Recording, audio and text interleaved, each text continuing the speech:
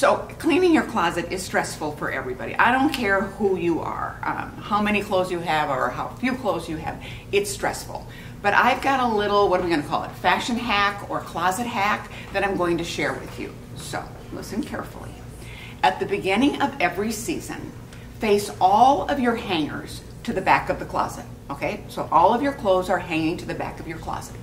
When you wear something, you put it back and you face it towards the front of your closet. You know where I'm going here? At the end of the season, things that are still facing the back, make a decision. Toss, donate, consign, or get it altered. You can do the same thing with shoes. Um, take a piece of masking tape, put it in one of the shoes. When you wear that pair, take the masking tape out and throw it away. At the end of the season, yeah, you get the picture. Be loyal, shop local, and peace on earth.